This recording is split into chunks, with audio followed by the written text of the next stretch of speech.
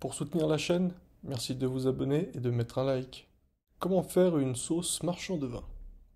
Hachez finement quelques échalotes. Écrasez une gousse d'ail. Faites suivre vos échalotes à feu moyen avec du beurre. Déglacez avec du vinaigre de vin. Relevez avec du poivre épais.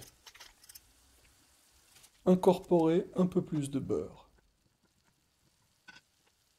Ajoutez du vin rouge et votre ail. Laissez réduire.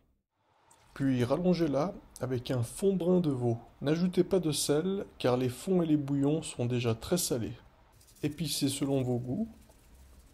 Faites mijoter pendant 10 bonnes minutes. Cette sauce sera idéale avec une bavette de bœuf. Pour votre santé et celle du climat, la viande doit être consommée avec modération.